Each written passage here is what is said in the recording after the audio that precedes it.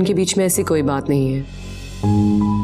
शायद हम दोनों को समझने के लिए थोड़े वक्त की ज़रूरत है। हाँ हाँ। मैंने कब रोका है? जितना चाहे वक्त ले लो। भले ही जवाद ने तुम्हें महज औलाद के लिए अपनाया हो लेकिन तुम भी तो बीवी ही हो ना उनकी। प्लीज़ मेरे बारे में दादी को कुछ मत बताना। मुझे क्या नहीं बताना था? यही कि मैं अपने घर में खुश नहीं हूँ। मगर अब मुझे यही रहना है तमाम उम्र। ये लोग जैसे भी हैं इन्हें ही अपनाना है।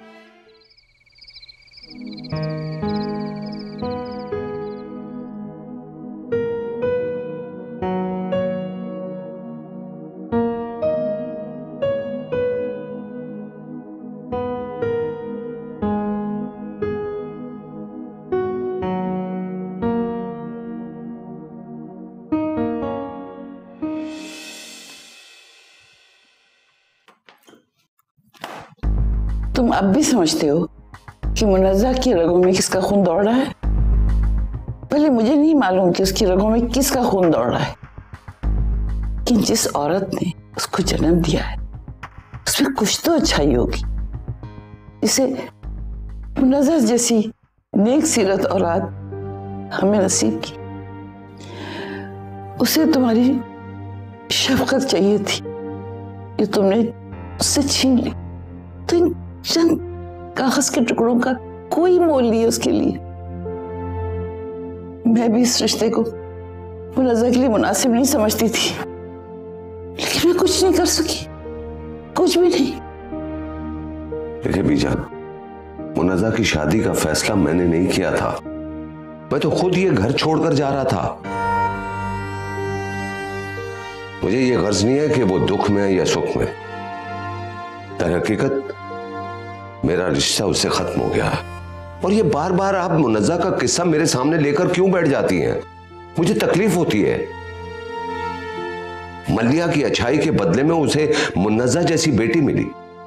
मेरी अच्छाई के बदले में मुझे क्या मिला? मलिया अपने मुर्दा वजूद के साथ, न जाने कितने राज के साथ वो मट्टी में दफन है। और मैं मैं ज़िंदा लाश बनकर अपने सीने में कई सवालात लेकर दरबदर घूम रहा हूँ। मैं पत्थर नहीं हूँ, मैं इंसान हूँ। मुझे भी दर्द होता है। जिसे अपनी ज़िंदगी से निकाल दिया, सो निकाल दिया।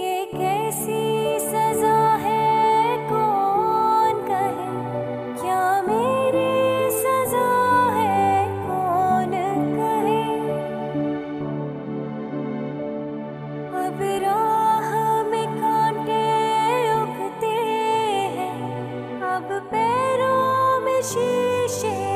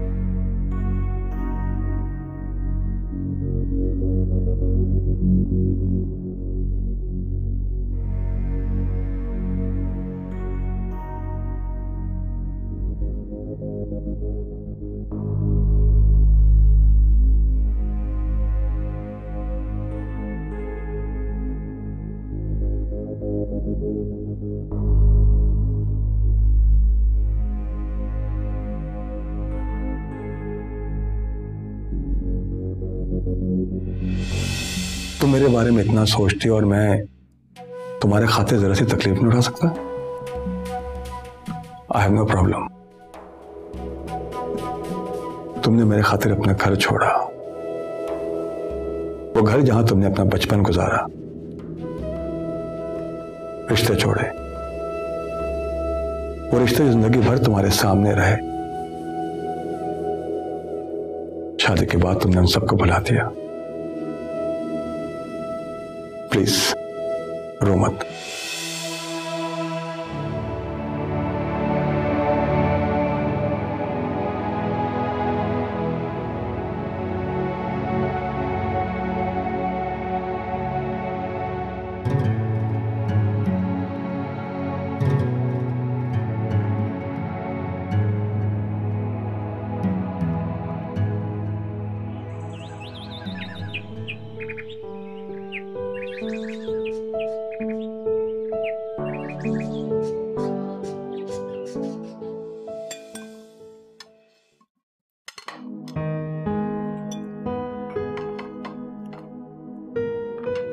गुड मॉर्निंग गुड मॉर्निंग खैरियत है आज इतनी जल्दी ऑफ़िस जा रहे हो? जी ऑफ़िस जाते हुए बीजान से मिलता हुआ जाऊँगा। उन्होंने मुनजा को लेकर बहुत टेंशन दे दी है। गलती भी मेरी है मुझे बीजान को मुनजा के बारे में कुछ भी नहीं बताना चाहिए बीजान की उम्र के साथ साथ उनकी अकल ने भी काम करना छोड़ दिया। अरे भला कोई अपनों से ज़्यादा भी गैरों को अपनाता? ये मुनजा तो बीजान की हवासों पर छा गई कि उन्हें अपनी सगी बेटी के साथ की हुई ज्यादती पर भी जरा मलाल नहीं है। मामा आपको बीजान की जिस प्रॉपर्टी को लेकर मलाल है ना मुनजा ने उसकी तरफ़ देखा भी नहीं। ये तुम क्या कह रहे हो? जी बाबा मैं प्रॉपर्टी के पेपर्स लेकर मुनजा के घर गया तो ज़रूर था लेकिन मुनजा ने उसे रिसीव करने से मना कर दिया। इसके बाद भी अगर कोई मुनजा की नीयत पर शक करे ये उसका अपना हेडेक है। मैं तो पहले से जानता था वो बच्ची सोने की तरह खरी पर हीरे की तरह अनमोल है। बस उसे कदर करने वाला जोहरी नहीं मिला। इसमें भी उसका कोई ना कोई मुफाद होगा। प्रॉपर्टी के पेपर्स वापस करके वो डबल गेम खेल रही है। बीजान का दिल तो वो पहले अपनी मुट्ठी में कर चुकी है। अब उसका अगला शिकार भाईजान है। फॉर गॉड सेक मॉम ये सियासी बयान देना बंद कर दें आप। पहले आपको बीजान की प्रॉपर्टी को लेकर इशू था अब आप मुनजा की नीयत पर शक करके उसे गलत साबित करना चाह रही हैं। अब क्या साबित करना चाह रही हैं कि आपके अलावा यहाँ पर और कोई सही नहीं है? आपका काम है मुनजा को बार बार गलत साबित करना। अगर उसमें कोई अच्छाई है ना तो वो भी आपको नज़र नहीं आएगी। खुद डाउन बेटा। नाश्ता करो। बाबा क्या नाश्ता करूँ मैं? चलता हूँ सलाम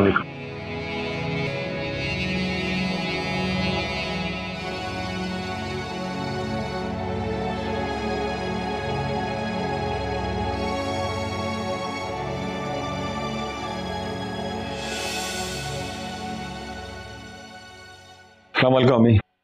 अच्छा मैं ऑफ़िस जा रहा हूँ। ज़िंदगी में पहली दफ़ा तुम्हें इतनी देर से दफ्तर जाते देख रही हूँ खैरियत तो है?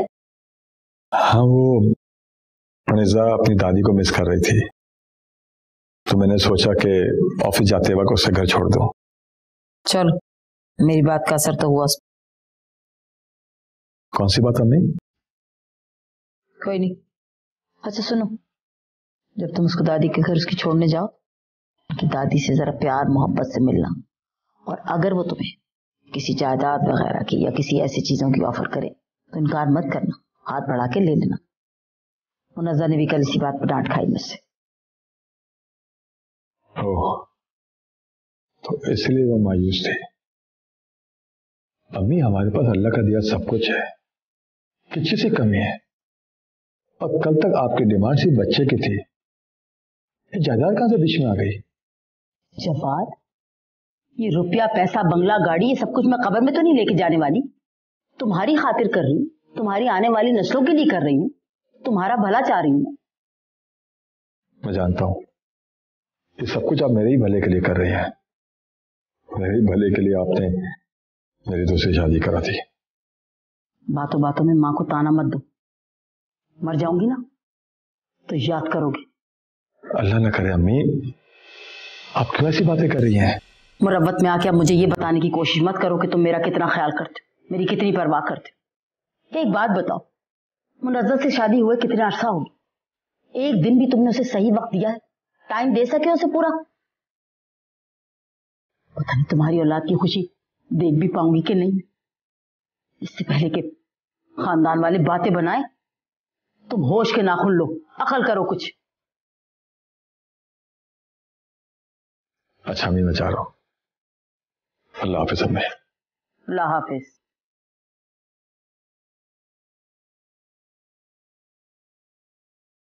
तौबा है भाई।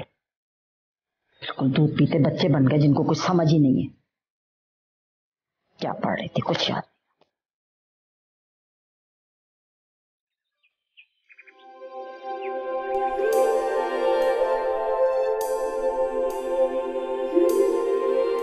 लड़की, तुम्हारा दिमाग तो नहीं चल गया? घर आई दौलत को कोई इस तरह से ठुकराता है? हद कर दी तुमने भी। पता नहीं क्या दिमाग है तुम्हारा, क्या सोचती हो? अरे तुम अपने बारे में ना सोचो।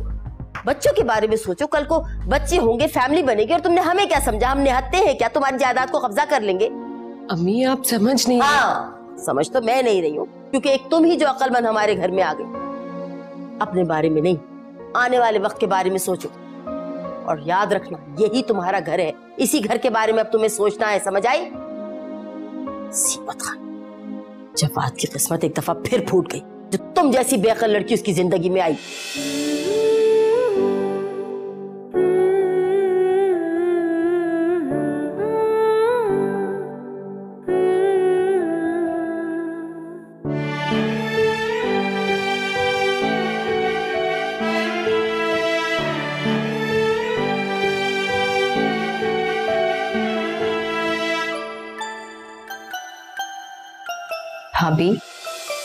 महके जाने पर आप इतना उदास हो रही हैं।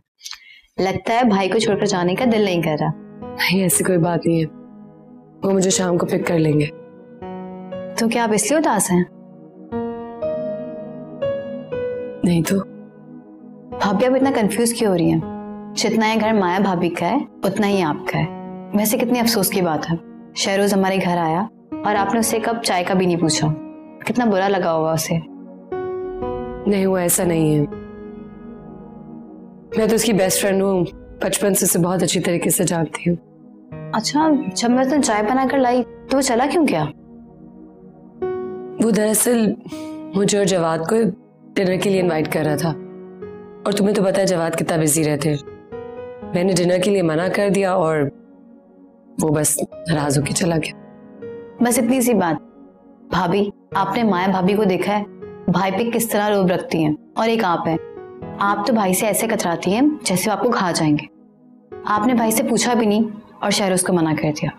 फिर तो उसका नाराज़ होना बनता है ना? वो भाभी आपके पास शहरोज का नंबर तो होगा ना? हाँ। और क्यों? मैं भी कितनी पागल हूँ। आपके पास नहीं होगा तो किसके पास होगा? वो मुझे उसका नंबर चाहिए था। ओके। okay. बीबी जी?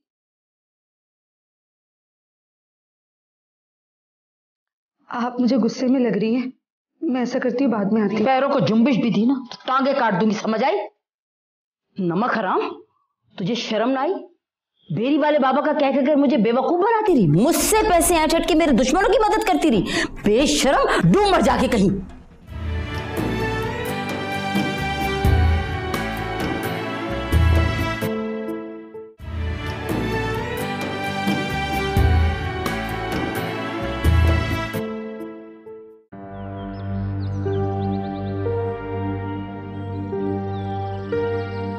सोच के घोड़े दौड़ाने से कोई फ़ायदा नहीं है, बहू बेगम। जो आज तक इस घर में नहीं हुआ, वो अब हो रहा है। छोटे साहब, आज तक ऑफ़िस देर से नहीं गए, लेकिन आज देखे। ऐसा तो नहीं कि मैके छोड़ने के बहाने वो छोटी दुल्हन को कहीं घुमाने ले जा रहे हैं। आपसे कह दिया कि मैके छोड़ने जा रहे हैं, और क्या पता इसी बहाने लंबी सैर के लिए निकल जाएँ। मैंने सुना है कि ज़्यादा हुस्न भी इंसान को बर्बाद कर देता है। अब बर्बाद जवाद हो या हमें? बात तो एक ही है। आप इन चिकनी चुपड़ी बातों में आके साहब जी पर भरोसा मत कर बैठिएगा। ये जो खावंद होते हैं ना ये इन्हीं बातों को अपना हथियार बनाते हैं हाँ। तुम्हें कुछ अर्सा पहले मैंने एक काम के लिए पैसे दिए थे। क्या बना उस काम का? जवाब पहले से ज़्यादा उसके आगे पीछे मंडला रहे हैं। कहीं ऐसा तो नहीं कि तुम पैसे मुझसे ले रही हो और काम खालामी का कर रही हो? हाँ तौबा करे बहू बेगम। आप ही के काम में लगी हूँ। बेरी वाले बाबा ने सात दिन के पढ़न का कहा है। सात दिन के बाद अगर छोटे साहब आपके आगे पीछे ना घूमे ना तो मेरा भी नाम शन्नू नहीं। हाँ।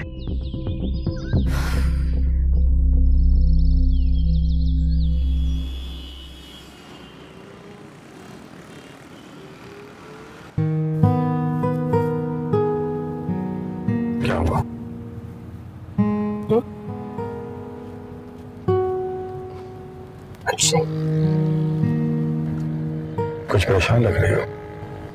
नहीं। नहीं तो? मैंने तुमसे कहा था मनजा कि अगर कोई बात हो कोई परेशानी हो तो तुम मुझसे शेयर कर सकती हो। वैसे तुम इतना ही कम बोलती हो या मेरी वजह से? ऐसा कुछ नहीं है। मैं मैं ये सोच रही थी कि दादी शायद घर पे हो या ना हो। उन्होंने कहा था कि उनको जियारत पे जाना है। मेरी शादी के बाद ज़्यादा से ज़्यादा वक्त वो वहीं गुजारना चाहती है। हाँ तो वो जाने से पहले तो तुमसे मिलकर जाएँगे। हम्म, ये भी है। वैसे मनीजा तुम अम्मी की बातों को दिल पे मत लिया करो। वो वैसे सख्त मिजाज है लेकिन दिल की बहुत अच्छी है। मैं जानती हूँ। आप परेशान मत थैंक यू या अल्लाह मैं जवाद को कैसे बताऊँ कि वो घर मेरे लिए रुखसती के बाद नहीं रुखसती से पहले ही पराया हो गया था। मैं बाबा को अपनी सूरत दिखाकर दुखी नहीं करना चाहती। अगर उस वक्त बाबा घर हुए तो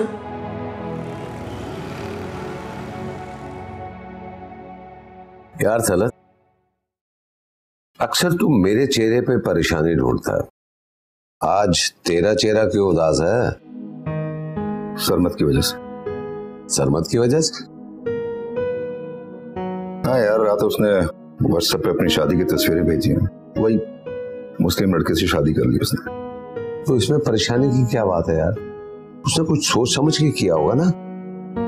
यार यही बात तो मैं तेरी भाभी को समझा समझा के थक गया हूँ। इस बात को लेके ना वो खुद सोई रात भर, ना उसने मुझे सोने दिया। भाभी को समझाओ, बच्चों की खुशी में ही माँ बाप की खुशी होती है।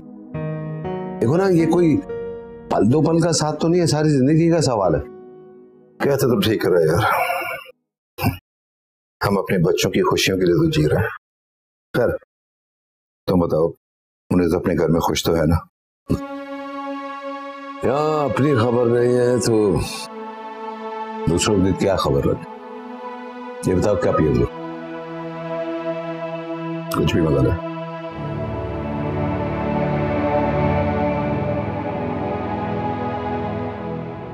दादी आप क्यों रो रही है? मैं अपने घर में खुश हूँ। झूठे दिलासे मत दो मुझे।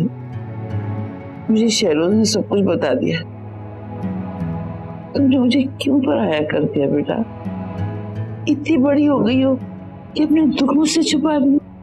दादी, मैं आपसे कुछ नहीं छुपा रही हूँ। बस उस घर को अपना बनाने की कोशिश कर रही हूँ। और आपको कैसा लगेगा अगर मैं छोटी सी बात पर नाराज़ होकर घर आ जाऊँ? याद है मम्मा क्या कहती थी? कि शादी करना तो आसान होता है। लेकिन उस घर की जिम्मेदारियों को संभालना बहुत मुश्किल। और हर घर के तौर तरीके और रसूल डिफरेंट होते हैं, दादी। और अगर वो मुझे मेरी गलती पर नहीं डांटती तो मुझे कैसे पता चलता कि मेरी गलती क्या थी? पता नहीं शरोज ने क्या देखा, क्या समझा, और आपको आके क्या बताया? ऐसी कोई भी बात होती तो क्या जवाब मुझे घर आने देते? खुद छोड़ के गए हैं अबू बाहर के बाहर क्यों चला गया? अंदर क्यों नहीं आया? दादी आप क्यों टेंशन लेती है? दरअसल मैंने ही उनसे नहीं पूछा अंदर आने की। मुझे डर था कि कहीं बाबा घर पे ना हो।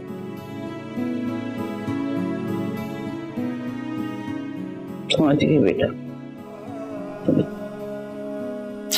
बस खुश रहा करे।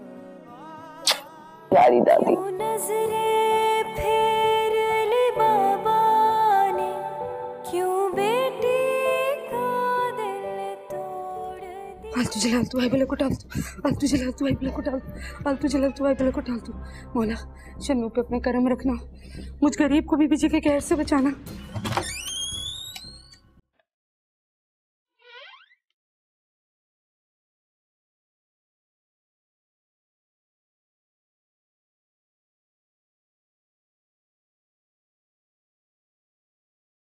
बीबी जी?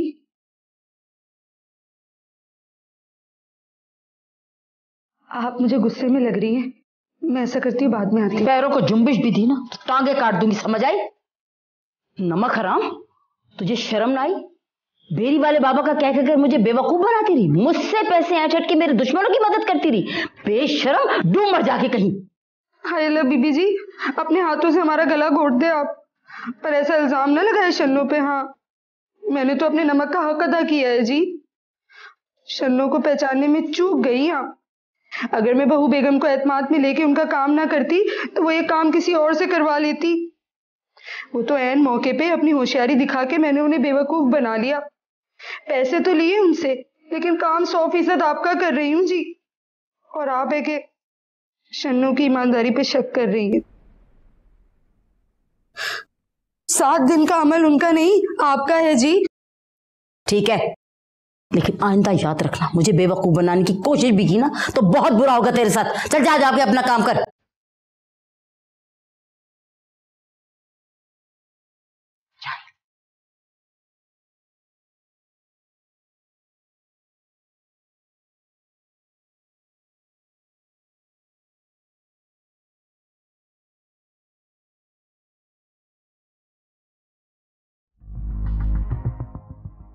छोटे साहब, आज तक ऑफ़िस देर से नहीं गए, लेकिन आज देखे। ऐसा तो नहीं कि मैके छोड़ने के बहाने वो छोटी दुल्हन को कहीं घुमाने ले जा रहे हैं। आपसे कह दिया कि मैके छोड़ने जा रहे हैं, और क्या पता इसी बहाने लंबी सैर के लिए निकल जाए। मैंने सुना है कि ज़्यादा हुस्न भी इंसान को बर्बाद कर देता है। अब बर्बाद जवाब हो या मैं बात तो एक ही है। आप इन चिकनी चुपड़ी बातों में आके साहब जी पर भरोसा मत कर बैठिएगा। ये जो खावंद होते हैं ना, ये इन्हीं बातों को अपना हथियार बनाते हैं हाँ। जवाद अगर सचमुच मुनजा को उसके घर छोड़कर ऑफ़िस गए हैं तो इस वक्त उन्हें ऑफ़िस में ही होना चाहिए।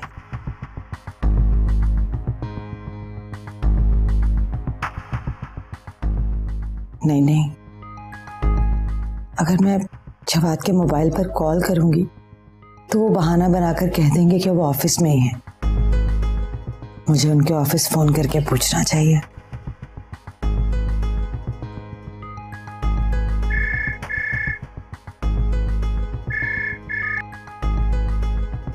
हेलो अस्सलाम वालेकुम। जवाद साहब से बात करवाइए मेरी। मैम सर तो इस वक्त मीटिंग में है। अगर कोई मैसेज है तो बता दें मैं उनको कह दूँगी।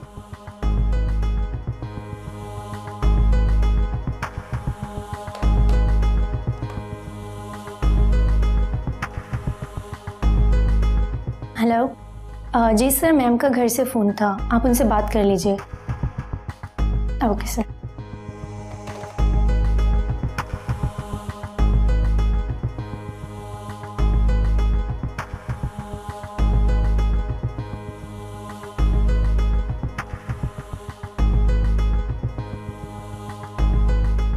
नंबर बिज़ी करके न जाने कौन सी प्राइवेट बातें चल रही हैं।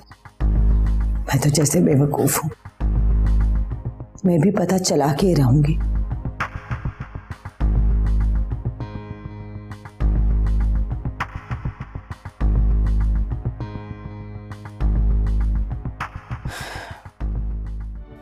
बीजान वो आंसर भी, भी आई थी। पुप्पू जी। कहा है वो? पहले तो वो बीजान की तबीयत का मालूम कर रही थी। जब मैंने बताया कि बिटिया आई हुई है तो वो बाहर से बाहर ही चली गई।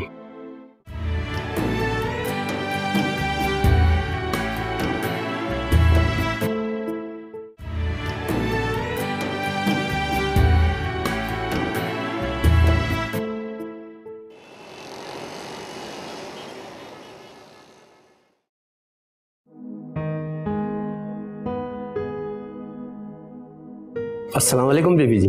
वालेकुम सलाम। मैंने सुना है बीजान की तबीयत ठीक नहीं है? जी सुबह तो उनकी तबीयत बहुत ही ख़राब थी लेकिन जब से मुनज़्ज़ा बिटिया आई है ना वो खुश भी हैं और बहुत अशाश बशाश हैं। मुनज़्ज़ा आई है? जी हाँ जवाद मियाँ उन्हें सुबह ही छोड़ कर गए। ठीक है मैं चलती हूँ। वो आप अंदर नहीं आएँगी? आई तो थी मैं बीजान की खैरियत पता करने। लेकिन अब जब मुनजा यहाँ आई हुई है तो मेरी क्या ज़रूरत है? चलती हूँ।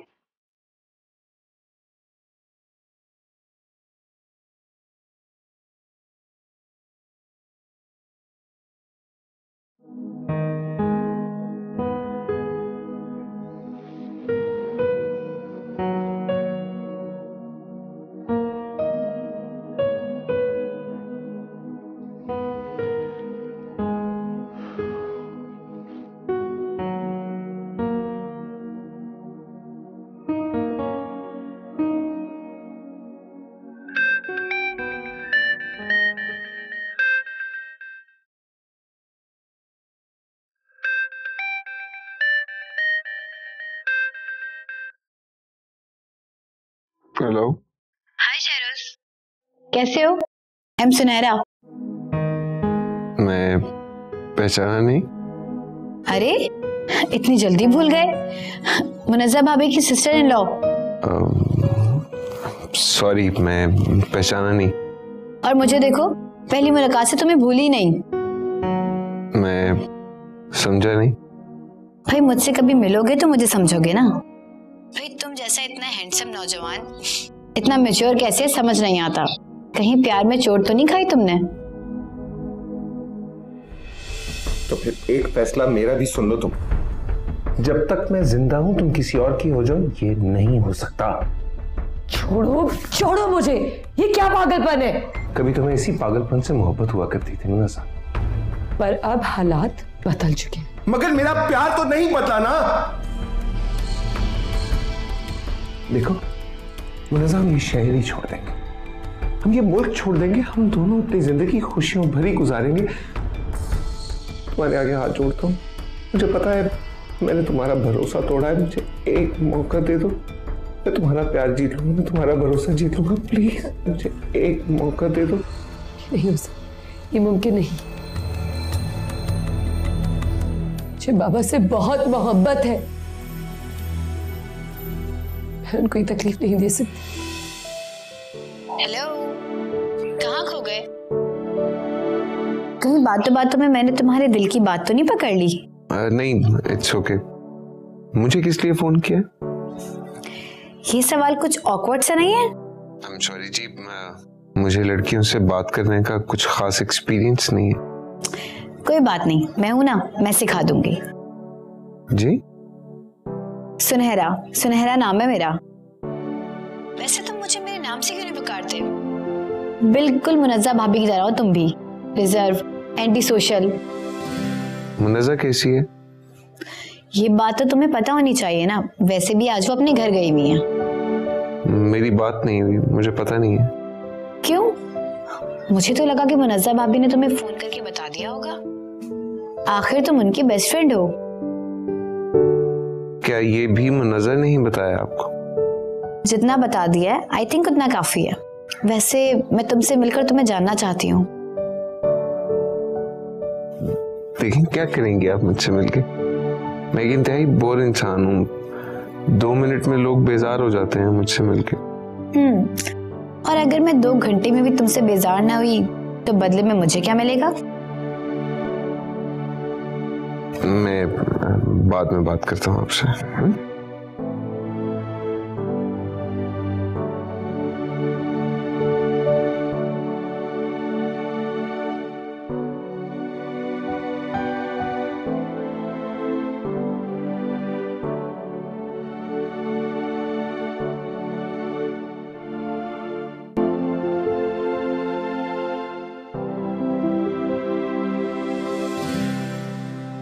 बहुत गलत बात है, दादी।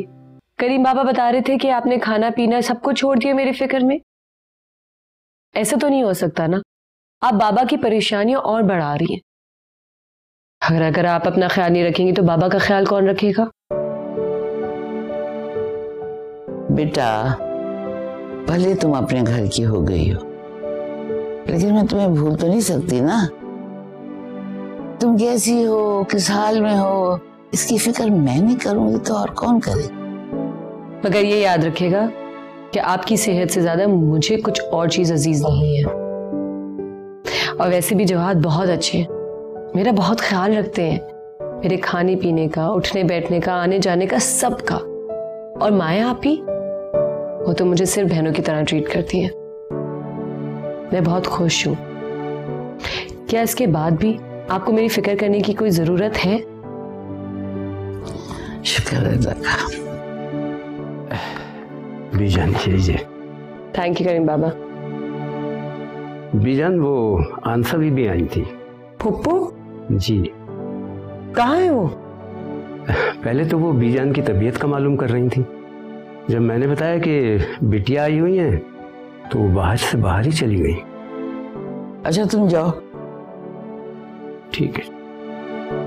तुम अपना दिल छोटा ना करो। सदके में भागी मैं ठीक हूँ। चलिए जूस पिए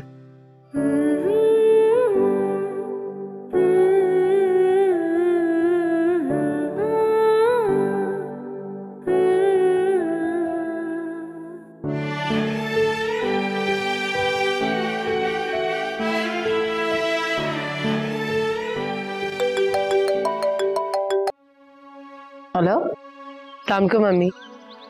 अम्मी जवाब फ़ोन नहीं उठा रहे थे मेरा। उन्होंने मुझे पिक करना था। ऑफ़िस से वापसी में।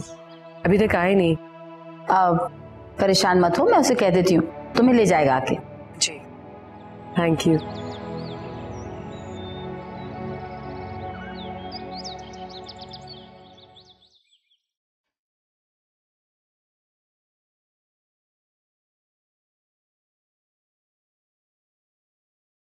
जवाद क्या मसला है तुम्हारे साथ?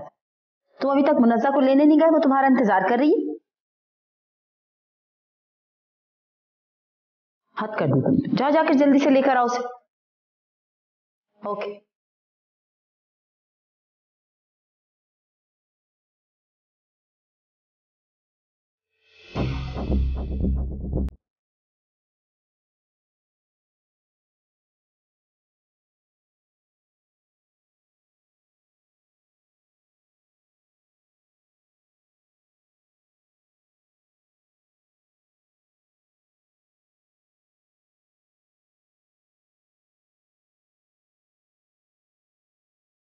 फैजान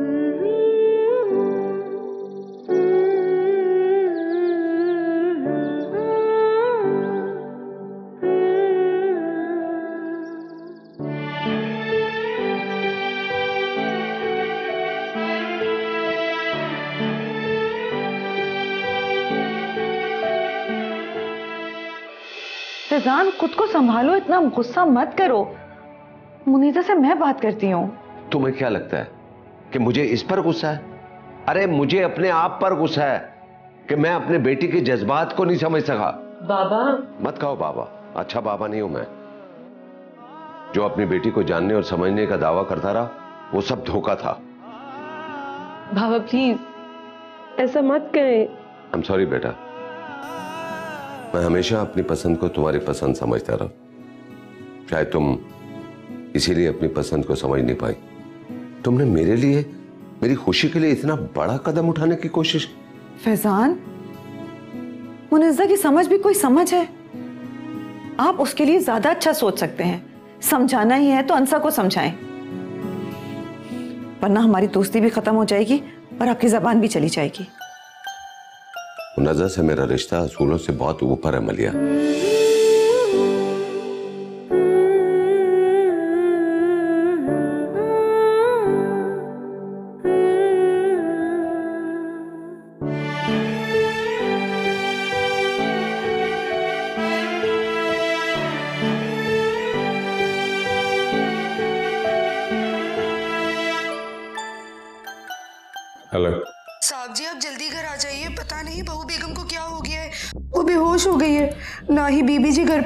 सुनहरा बाजी आप जल्दी आ जाइए। अच्छा तो माया को संभालो मैं अभी पहुँच रहा हूँ।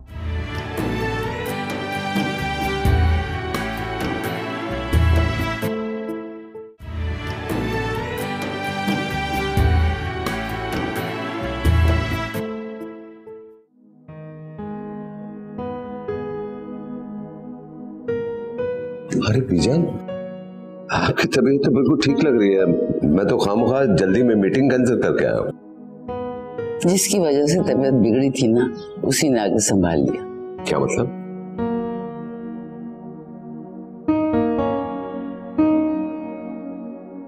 ऐसा करो तुम कपड़े बदल लो। मैं तुम्हारे लिए चाय भिजवाती हूँ करेंगे आप। ठीक है।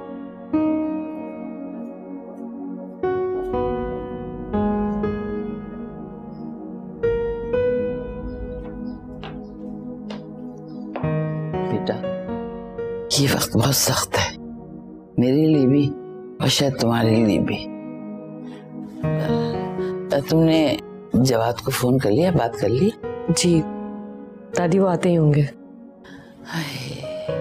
मैं तुम्हें इस घर में भी नहीं रोक सकती। क्या हो गया दादी?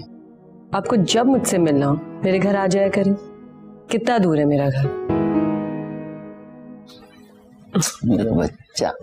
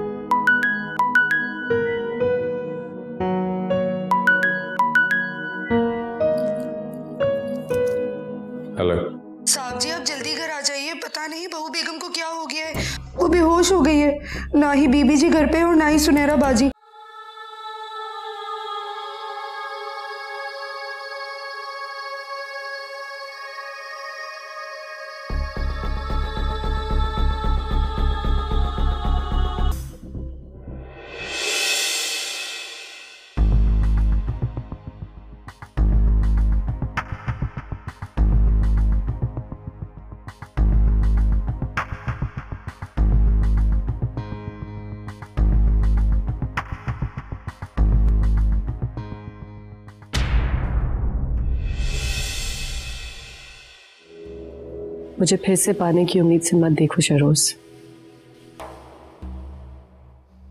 मैं शादीशुदा हूँ। हम्म। कैसे बोल सकता हूँ? तुम्हारे निकाह में एक गवाह मैं भी था। जवाद ने अपने हाथों से मेरे लिए सूप बनाया है। बहुत यम्मी है। लो तुम भी टेस्ट करो। नहीं वो ओ। समझ गई। कुछ लोग झूठा खाने से कतराते हैं। तुम्हें नहीं पीना तो मत पियो। वैसे भी झूठा तो तुम्हारी किस्मत में लिखा जा चुका है।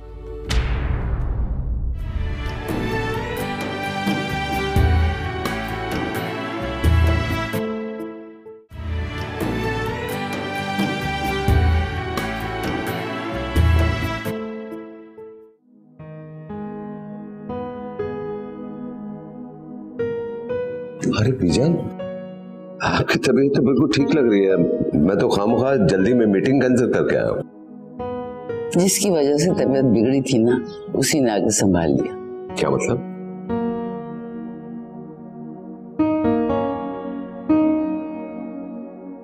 ऐसा करो तुम कपड़े बदल लो। मैं तुम्हारे लिए चाय भिजवाती हूँ करेंगे आप। ठीक है।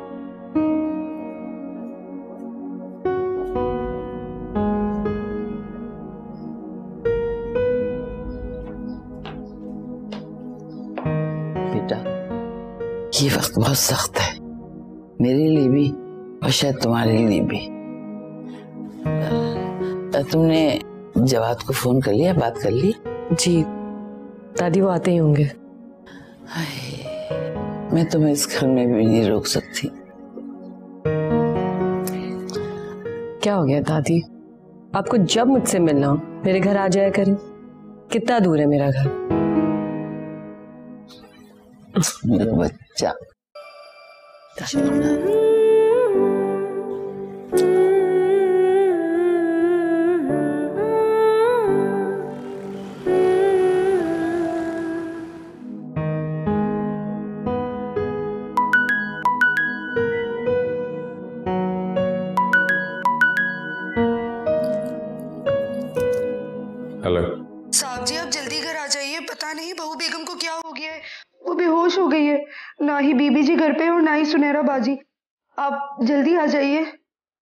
माया को संभालो मैं अभी पहुँच रहा हूँ। बस पहुँच रहा हूँ मैं अभी